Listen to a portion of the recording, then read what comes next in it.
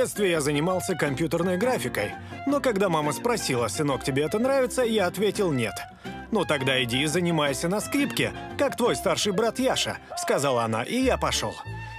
Через пару лет я влюбился в девушку, ее папа мне сказал, «Ты бедный скрипач, зачем ты нам нужен? Иди займись бизнесом». И я пошел заниматься бизнесом.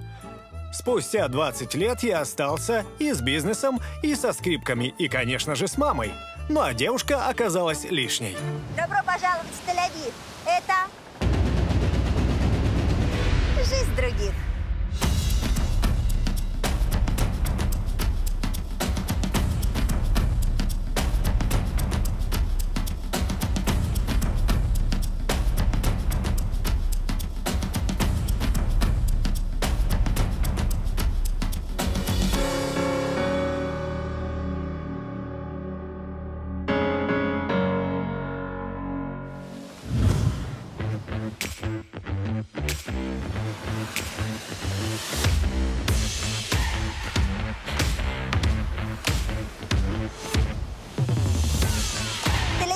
Всегда жарко, весело и вкусно, но дорого. Я знаю лично, потому что бывала тут не раз. И вот мне интересно, как поменялась жизнь местных жителей после того, как Тель-Авив официально стал самым дорогим городом в мире? М? Ну и раз мы здесь сегодня, нам ничего не мешает пойти в гости и все это и узнать.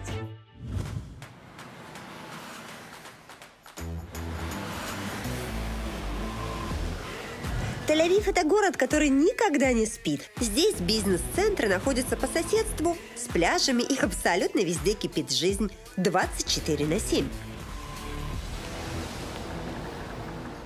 В Тель-Авиве каждый из 500 тысяч жителей может найти себе занятие по душе.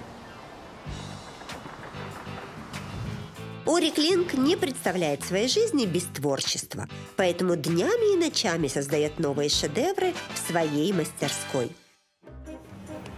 Амир Гросс силен в цифрах и точных науках, поэтому руководит одной из самых успешных IT-компаний в Тель-Авиве. А местный повар Йошуа Розенблюм просто взамен на шекель радует всех местных жителей своими блюдами на завтрак, обед и ужин. Вы знаете, пробыв некоторое время в Тель-Авиве, я подумала, что национальный спорт – это еда. Но нет, я ошиблась. Таки национальный спорт в Тель-Авиве – это бег. Причем и днем, и вечером, и утром, и после бессонной ночи. О, бежит, бежит, бежит, бежит.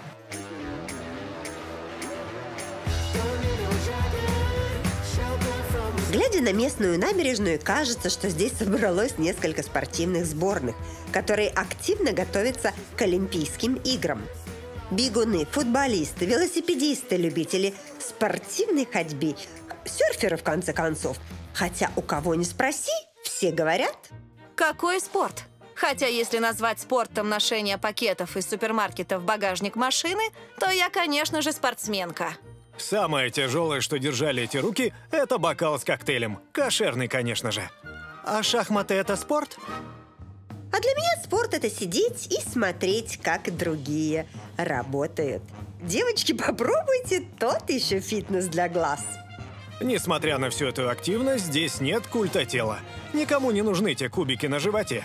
Все лишь хотят сохранить хоть какую-то форму и не стать размером с дирижабль. Ведь кафе и ресторанов здесь просто на любой вкус. Ну а что вы хотели? Здесь все любят ходить в рестораны и клубы, а отказывать себе в еде и коктейлях нет. Как говорит моя подружка Сара, самая популярная пробежка здесь – это пробежка к любимому кошерному ресторану. Найти кошерный ресторан в Тель-Авиве вообще не проблема. Поэтому сейчас пойдем и отведаем кошерной еды. Что? Вы спрашиваете, что это такое? Идем. Все, посмотрим и отведаем. О, уже ноги не держат. Существует масса запретов, которые должен соблюдать истинный иудей. И больше половины из них касаются еды. Поэтому я обратилась за помощью к Йошуа Розенблюму, который, как настоящий кошерный повар, знает все о правилах кашрута. Башни Азриэли позади меня. Любимое место многих жителей Тель-Авива. Здесь находятся главные офисы крупных компаний и торговые центры. Узнала я, кстати, об этом инстаместе благодаря разделу «Короче» в Aviasales. Весь контент «Короче» собран местными жителями. Там много секретных мест и советов. Заходите, если хотите быстро узнать лучшее про город. Буду краток. Нельзя смешивать мясное и молочное. Для этих продуктов даже холодильники должны быть разными. Можно есть только ту рыбу, у которой есть чешуя и плавники. А значит, никаких вам креветок и бутерброда с красной икрой. Я вот, например, с детства знаю это кошерное блюдо, все его знают, фаршированная рыба. Я пришла к шефу, который мне сейчас будет делать какое-то кошерное блюдо. Как называется это? Рыбные котлетки. А самое главное, что кошерная еда может быть приготовлена только иудеями. Даже огонь на кухне может зажигать только истинно верующий. Каждый день в 5 утра к нам приходит человек из Министерства религии, который проверяет все на кошерность. Если он найдет хоть какое-то несоответствие, то нас лишат звания кошерного ресторана, а это позор. Это, конечно, все очень интересно, но лучше меньше слов и больше дела. Ну ты мне скажи, это кошерная еда? Обижаешь. У нас другой еды нет. А вот как бы она выглядела бы не кошерной? Стоит добавить мелко нарубленную креветку, например, и не только блюдо, но и мой любимый ресторан перестанет быть кошерным. Как мне нравится, вот есть все-таки это вот мое, особенно когда оно еще и кошерное, чтобы оно не значило. Так, ну что, тогда пять минут и... Ты голодная? Да, я всегда голодная. Это я забираю с собой. Я жду. Хочу напомнить, что мы находимся в самом дорогом городе мира. Поэтому по ресторанам здесь особенно не находишься. Ведь на завтрак местные тратят примерно 100 шекелей.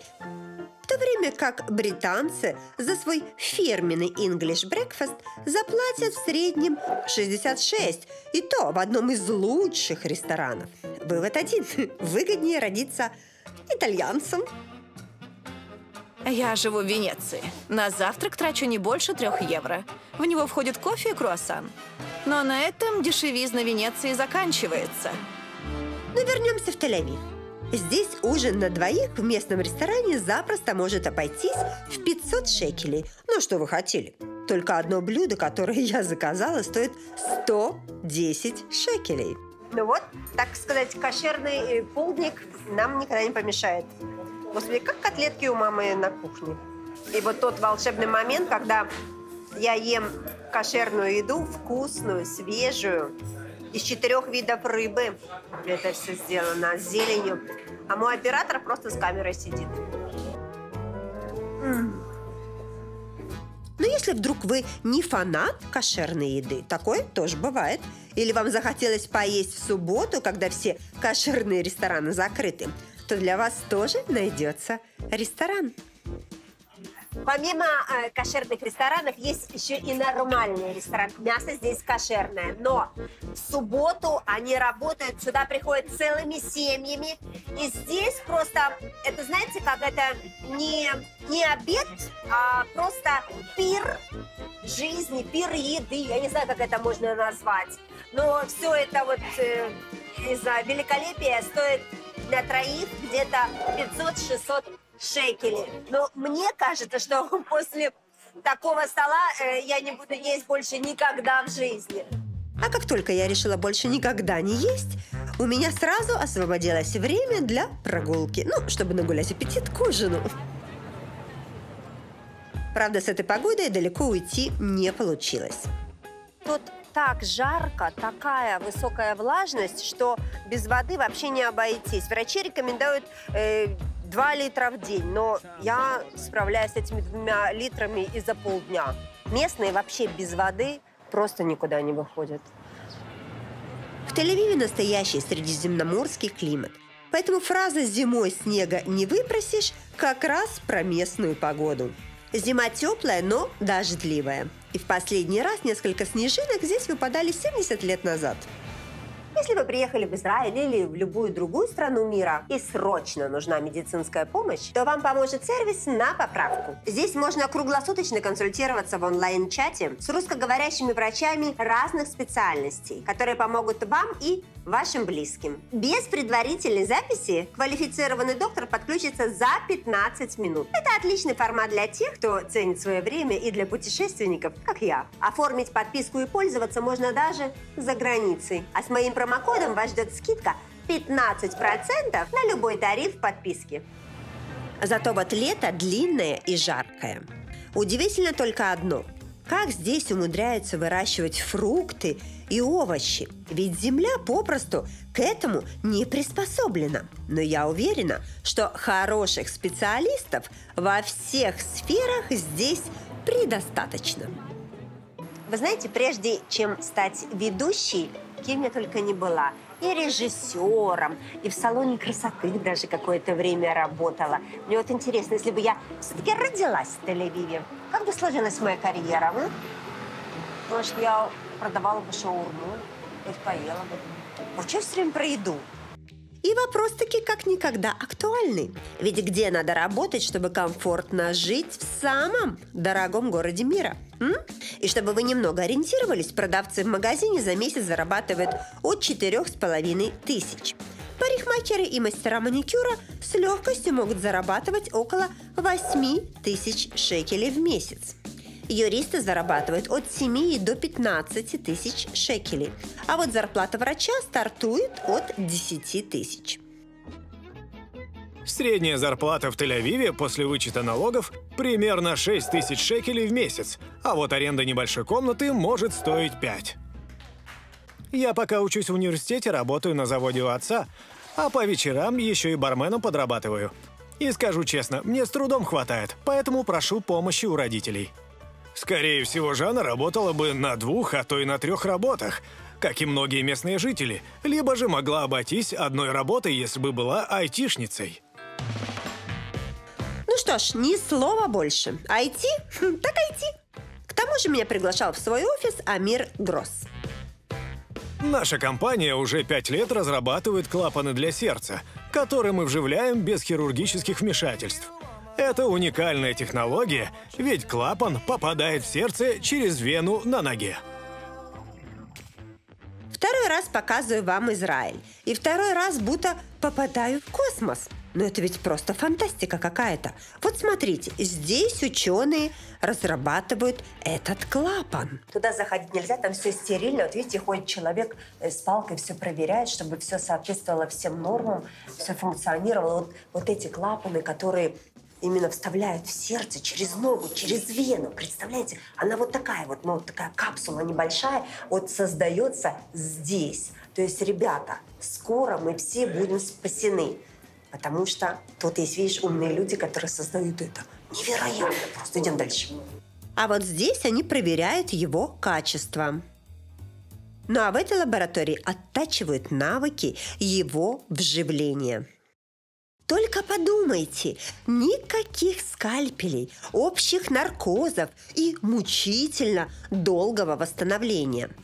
Наши клапаны служат по 120 лет, но если вдруг с ними что-нибудь будет не так, мы также быстро и безболезненно его заменим. Я в шоке просто, понимаете? Так, ну идем дальше. Уже 20 человек вживили наш клапан и полноценно живут с ними. Хотя другие врачи разводили руками и не знали, как им помочь.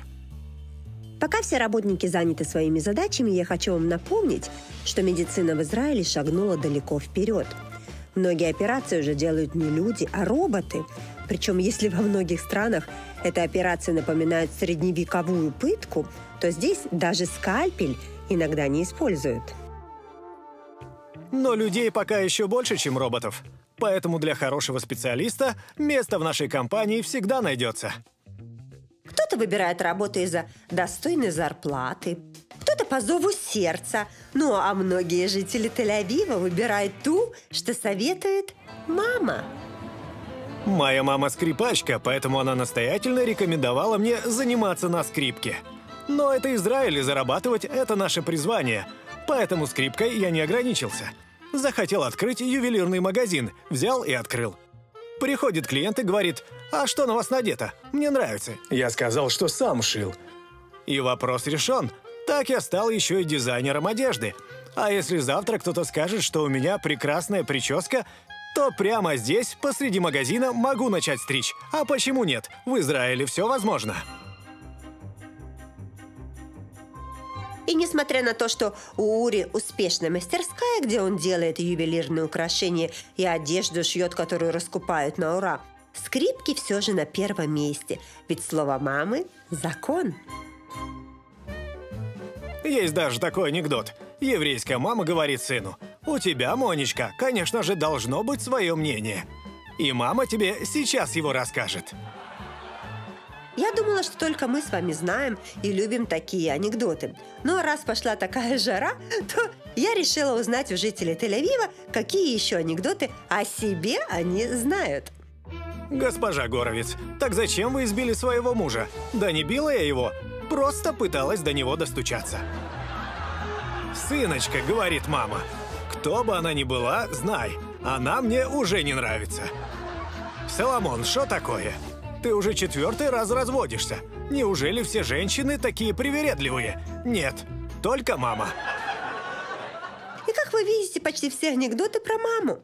Ведь еврейская мама – это целое явление. И спастись от этого явления можно, сбежав на работу. Причем прихватив с собой заодно и собаку. Я в э, офисе, я не в приюте животных. Видите, тут ходит. Тут работает 80 человек. Тут работают айтишники, ученые, э, доктора, э, собаки, понимаешь, бегают.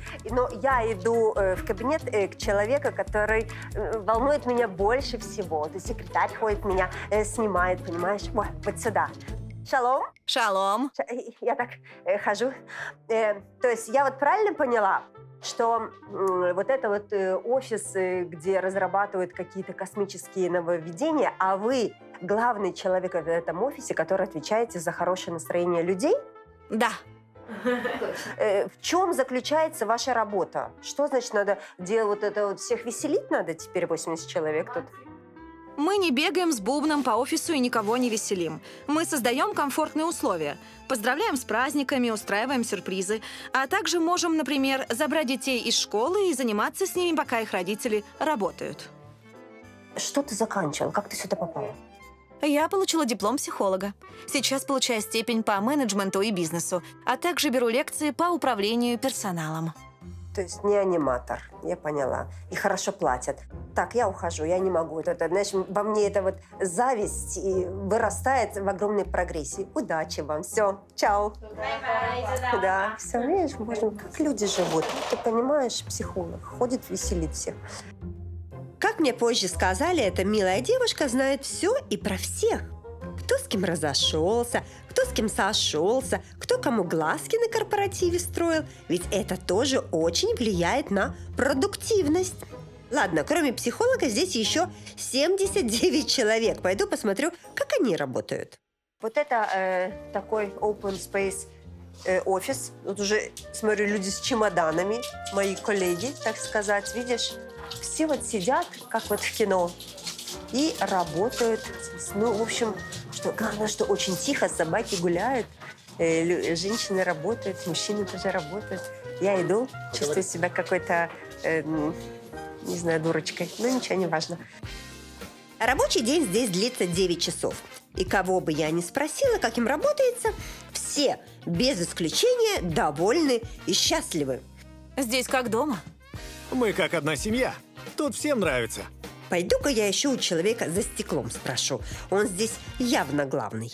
Мне вот все рассказали, что у вас в офисе все такие френдли, все так любят друг друга, помогают так друг. Ну скажите, а... Стараемся. Но бывает такое, что кто-то бесит, раздражает, кто-то хочется с кем-то поругаться в конце концов. Конфликтные к нам не попадают. Мы устраиваем тщательное собеседование, чтобы их распознать и не брать к нам на работу. То есть моего бы оператора бы никуда бы не взяли, понимаете? Это еще тот псих, а про режиссера просто молчу. Ну, не буду вас отвлекать, а то мне же интересно. Приземлившись в Тель-Авиве, нельзя терять ни минуты. Компания Kiwi Taxi встретит вас в аэропорту, комфортно довезет до отеля, даже если вы путешествуете с детьми или большой семьей. А водитель расскажет о всех достопримечательностях и посоветует, что именно стоит посетить. Если планируете свое путешествие, в ближайшее время используйте промокод, который даст 5% скидки. Если вы еще не начали подыскивать курсы айтишников, то я сейчас ускорю этот процесс. Каждый, кто здесь работает, получает очень достойную зарплату, которая позволяет жить комфортно в самом дорогом городе мира. Кроме того, у каждого работника есть акции компании и просто море бонусов. Для нас важно создать такую атмосферу, чтобы работники ни за что не волновались и были сконцентрированы только на своем деле. Когда человеку хорошо, то он показывает более высокие результаты. Мне, конечно же, никто не раскрыл условия своего контракта, но, как мне рассказали местные жители, айтишники зарабатывают от 10 тысяч шекелей совершенно спокойно. И если раньше еврейские мамы мечтали о том, чтобы их дети стали врачами или юристами, то сейчас, когда ребенок рождается, мама мечтает, чтобы ее ребенок стал айтишником. В среднем каждая жительница Израиля рожает троих детей. Но все логично. Первый рождается врачом, второй юристом, а третий айтишником. Все сходится. Роды в Тель-Авиве бесплатные, так как у каждого резидента есть страховка, которая покрывает все больничные расходы. Могу сказать одно. Вот где бы я рожала и рожала, так это в Израиле. Потому что эти роддома я могу сравнить с курортом или спа-салоном. Ну, не считая самого момента рождения ребенка, конечно. Этот процесс в любой стране далеко не райское наслаждение. Но зато, когда все закончилось, так сказать, можно пойти к шеф-повару и заказать бельгийские вафли с шоколадом и сделать себе чашечку кофе. Ой, потом можно пойти за покупками для малыша. Ну, вдруг ты э, ничего не успела купить перед родами. А потом все это дело можно закончить маникюром и новой прической. Помните, пару лет назад я уже была в роддоме в Израиле? Угадайте с одного раза, я хотела туда рожать или на маникюр? Thank you. Чао. Ну вот так вот, ребята, если вам надоело лежать э, после родов в палате, вы можете прийти сделать маникюр, педикюр прямо здесь, выпить кофе, зайти в магазин, купить пижаму, халат, новое платье, э, цветы, все что угодно, салат, поесть. Я просто в шоке. Идем посмотрим, что еще тут есть. Класс! Вот это больница, вот это я понимаю. Единственная сложность – это толпа родственников. Все очень мило и приятно, но я только что родила на свет ребенка. Дайте маме тишины. Хоть в соседнем городе рожай. Ей-богу. Государство поддерживает рождаемость, поэтому родители после выписки получают чек с 1700 шекелей. А также служба национального страхования автоматически на банковский счет выплачивает всем жителям Израиля ежемесячное пособие на детей до их 18-летия. В общем, рожай не хочу. Вот правда, с появлением ребенка появляется много вопросов, которые надо решать ежедневно. Взять хотя бы детский сад. В Израиле нет государственных детских садов для детей до трех лет. Представляете, если у тебя родился ребенок и тебе нужно идти на работу, ты можешь отдать его в частный детский сад, который стоит в Тель-Авиве 3000 шекелей. Если тебе не повезло и нет мест, потому что их нет, то можешь взять няню, два раза дороже заплатить и пойти по миру. Вообще без копейки денег остаться.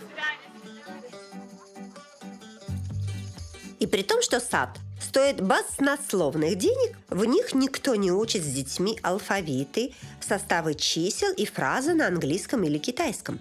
Основная задача воспитателя – это присмотреть за ребенком и накормить его. У тебя машина, а у тебя у тебя, э, ну, вообще какой-то калейдоскоп событий просто. То есть дети поели, да? Дети поели? Не ела? Поела? Нет. А, нет. Ну вот, ребенок не поел и счастлив. Я тоже не ела сегодня. э, хочу, знаешь, э, фигуру держать, чтобы красиво быть. Ты хочешь быть красивой? Да? Нет, А, нет? я уже. А, ты и так красивая. Понимаете, самооценка э, с возрастом улетучивается. Знаешь, ты хочешь быть красивой, а не всегда получается. Пока я себе общалась с маленькими девчонками, воспитательница как-то косо на меня смотрела. Я уже думала, ну, может, с прической что-то не так, или я одета странно, ну, может, голос э, мой женщину удивил. Не знаю, понимаете? Но оказывается, причина была совсем в другом. Вы знаете, я общалась, общалась и думала, что я общаюсь с девочками. А эти э, девочки оказались э, мальчиками.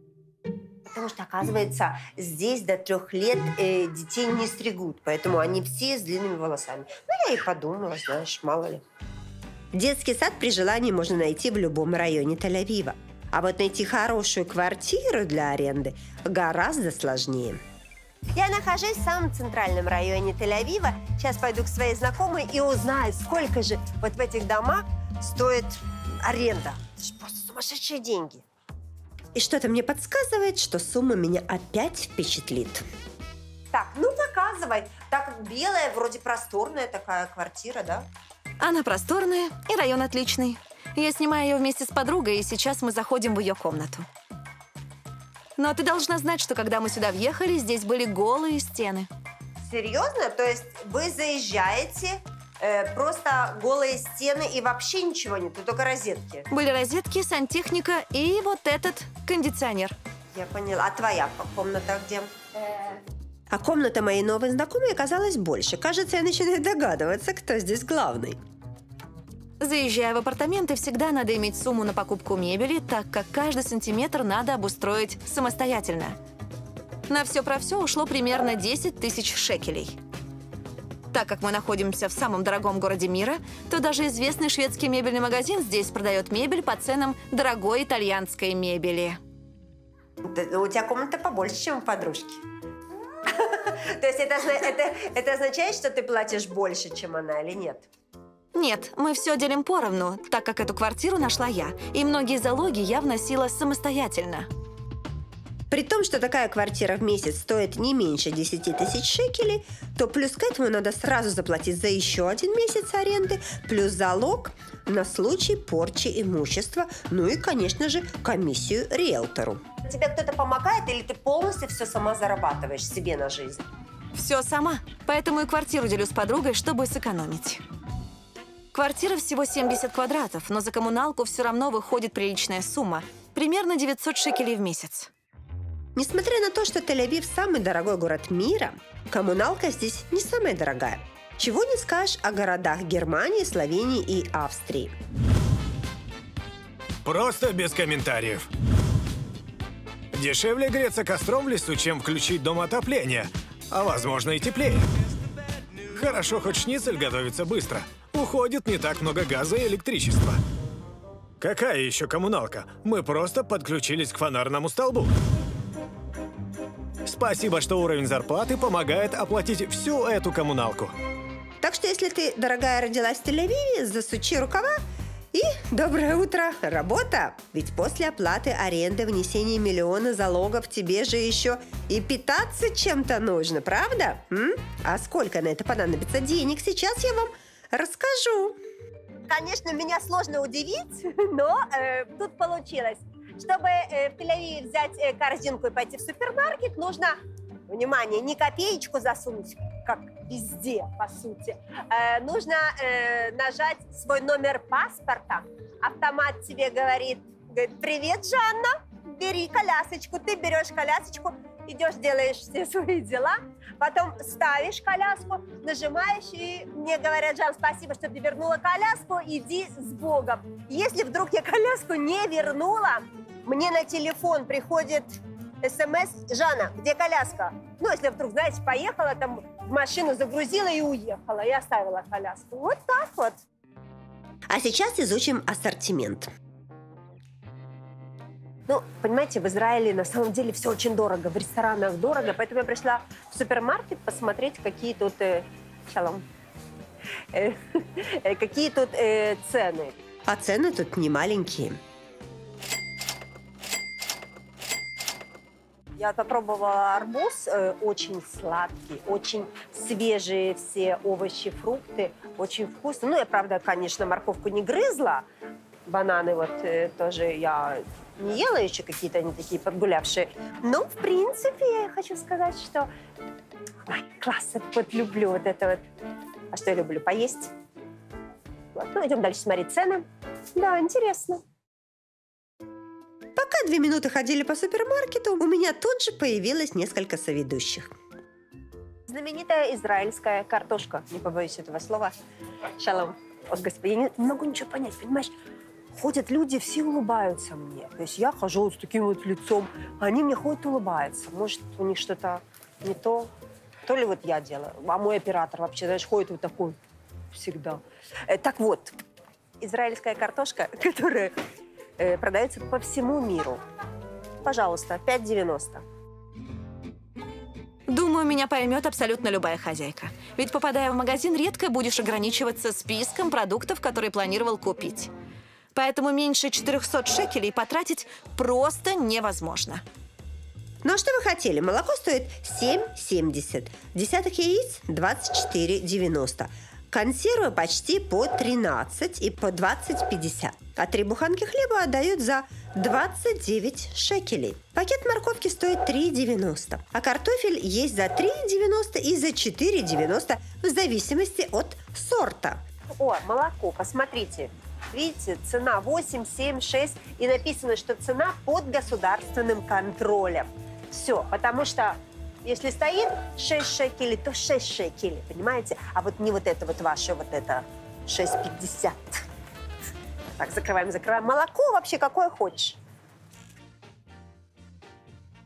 Рафаэль сейчас работает директором похожего магазина. Хотя 8 лет назад начинал свой путь обычным кассиром. И учитывая, что он репатриант из Бразилии, никто особо не верил в его карьерный рост. Я сейчас иду в гости к людям, которые когда-то сюда прилетели, будучи репатриантами.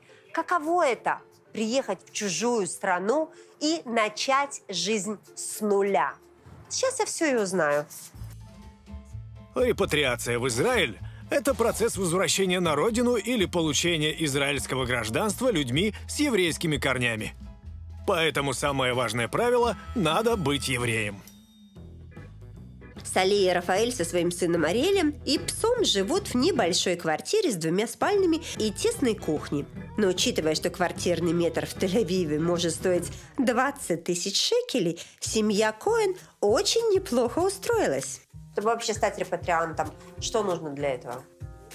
Такой процесс обычно занимает полгода, но мы затянули и потратили на это полтора. Нам надо было собрать полный пакет документов. Там были и свидетельства о рождении, и справки со всех инстанций, которые только можно представить. В общем, надо было собрать всю свою жизнь. Когда вы приехали, что вам государство, как вам помогало, кто вам помогал вообще здесь интегрироваться? Нам помогали буквально все. Стоило нам приземлиться, как нас встретили. Выдали паспорта, дали деньги, чего мы не ожидали, симки для телефонов и даже оплатили такси из аэропорта в город.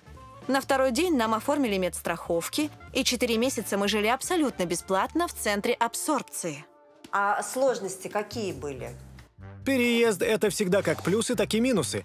Сложно было с языком, но мы быстро втянулись. Вот так вот принимает земля обетованная своих. Правильно, своих.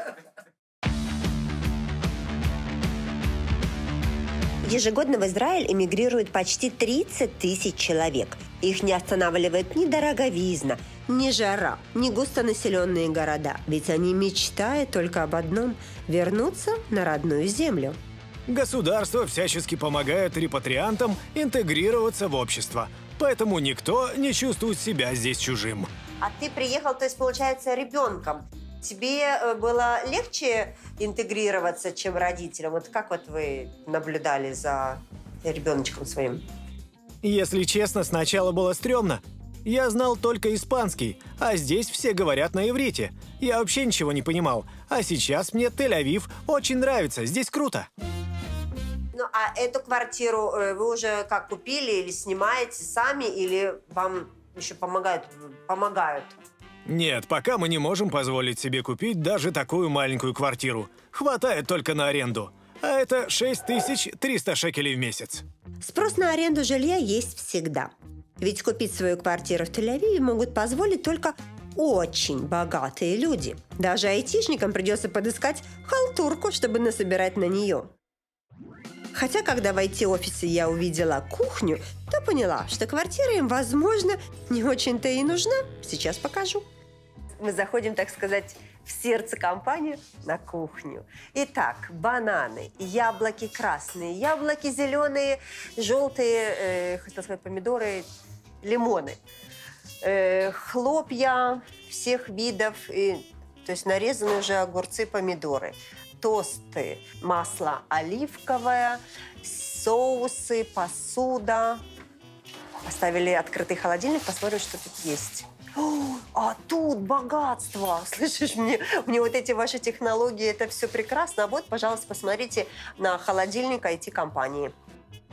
Все, что душа захочет.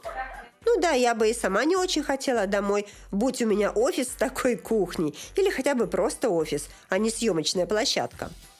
То есть я не могу понять, почему я все-таки закончила режиссуру и работаю с э, людьми, которым надо постоянно поднимать настроение, потому что постоянно они недовольны. Это, знаете, творческие люди, эти режиссеры, ну вы же понимаете, все не так, все не там. Ой, класс! Но вернемся к проблемам израильским. А то все обо мне, да обо мне. Когда видишь цены на недвижимость, то волосы встают дыбом. Средняя цена за квадратный метр в Тель-Авиве составляет 20 тысяч шекелей. То есть небольшая двушка запросто может стоить миллион.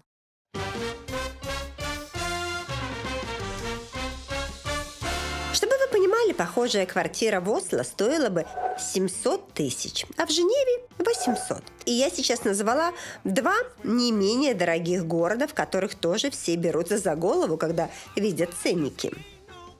Одна квартира в районе Яфа даже побила мировой рекорд. 1480 квадратных метров оценили в 41 миллион долларов США. Да, квартира в центре Лондона у Бекхэмов дешевле и скромнее. Но если ваша челюсть еще держится, то приготовьтесь узнать, какой здесь налог на покупку машины. Налог зависит от массы факторов. Минимально он составляет 100%, то есть будущий владелец авто платит двойную цену. А вот если захочется машину премиум-класса, то надо быть готовым переплатить 144%. Но, судя по всему, Маше все эти цифры не пугают.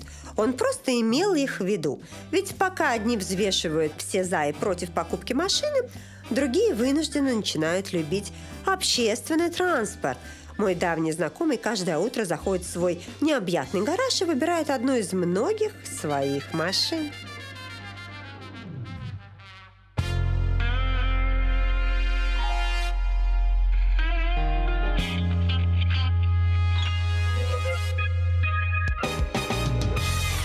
Сколько машин здесь? 45 штук. То есть это все твои машины? Да, часть из них коллекционные, а часть дорогие сердцу. Здесь также хранится мое коллекционное вино. Слушай, но это не гараж, это музей. Так и есть, это музей моей жизни. Моше хоть и 76 лет, но пенсионером его назвать сложно. Ведь он по-прежнему ведет три крупных бизнеса, а также знаком со всей политической элитой. У Моше в гараже не только коллекция машин, но и несколько помещений, где можно отлично провести время. Моше, а что это за зал? Это э, какой-то банкетный зал у тебя или что это такое? Здесь собираются мои друзья. У меня 40 тысяч бутылок вина, и я их покупал не для красоты. Как у тебя друзей? Мой оператор тоже хочет быть твоим другом. А это лучшая бутылка вина прошлого века. 50 тысяч долларов такая стоит. О, как, почти как э, машина. Ну а так как и мы, и Маше не забываем о вреде алкоголя, здесь есть несколько оздоровительных комнат для настоящих зошников. Первый – джакузи. во второй спортзал. То есть утром зарядка у тебя здесь. Да, Сколько ты проходишь на беговой дорожке? пять километров. И новости смотрю. Я тебе скажу, что я прохожу 5 километров и так задыхаюсь, боже мой. А про оператор молчу, тот вообще, знаешь. Глядя на Маше, сложно поверить, что он пенсионер. Раскрой секрет, э, где брать энергию в 76 лет. У меня вот э, оператору еще и 40 нету. Еле-еле передвигается к вечеру, понимаешь? Такой вообще несчастный. А ты такой живой. Мой рецепт прост. Спорт, правильное питание и дорогое вино.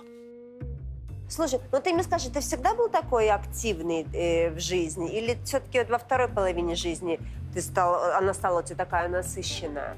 Всегда был таким.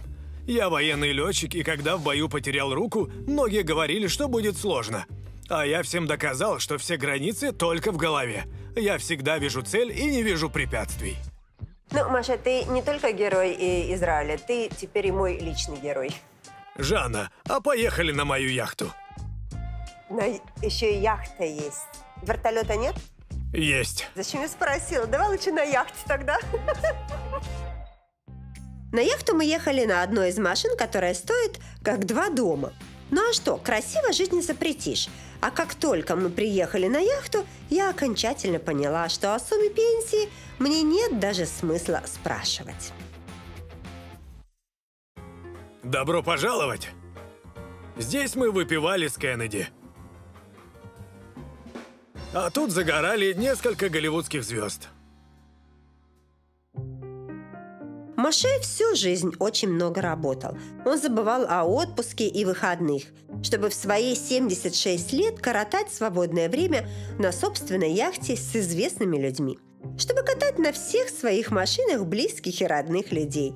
Чтобы иметь дом, в котором с радостью будут собираться все дети и внуки. Только от вашего выбора зависит то, как вы встретите свою старость. И от ваших сегодняшних действий будет зависеть то, что вы будете иметь через 5, 10, 15 лет. Ведь на голову может свалиться только проблема. А за собственное счастье надо бороться.